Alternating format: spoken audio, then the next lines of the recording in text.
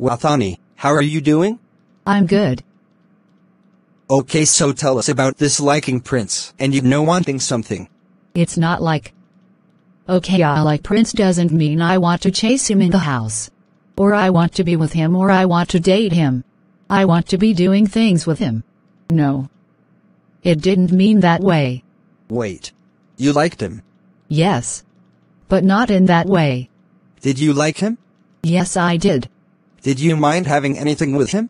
No, I didn't want to have anything with him. So, what was the point of saying you liked him to people? What was the point of it?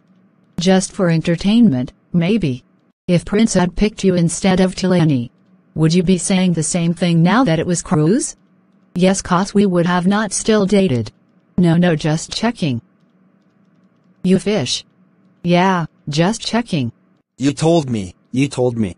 No, no excuse me, Ebuka. You told me what? To apply pressure with T-Baj. No. You didn't tell me to apply pressure with anybody. I know she liked him. If she says it's Cruz, that will be up to her to decide. But, I know she said it. We've had discussions that she liked him. But at that time, they were other contenders. but she was like, let me just slow. But it was pretty clear that she liked Prince. Okay, let me get something clear. Are you saying that she liked Prince, but because there were other contenders, she didn't want to make it too obvious?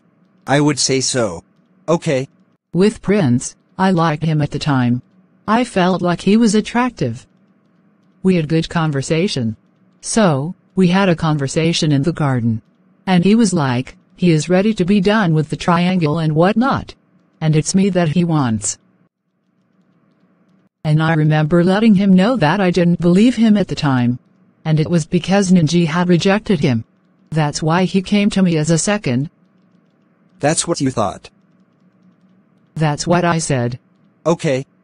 I said multiple times that I am not a second option. But he tried to convince me, gaslight me like no it's only you that I want. And honestly, I regret getting into that entanglement because it has caused nothing but embarrassment. How so?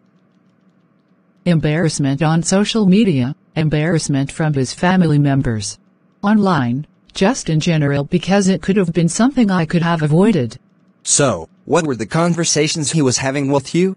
Mostly saying that we were not going to be friends. That this relationship must work. Did I lie? Oh my god. I did not lie. You don't have to answer me but I did not lie. And they are trying to portray me as being desperate. As you see me like this, I'm a bad bitch. I don't struggle to get men's attention. I have men in my arm like this. So, that agenda of Delaney by being desperate? Dead it. Cause I know who I am, I am a bad bitch. Okay,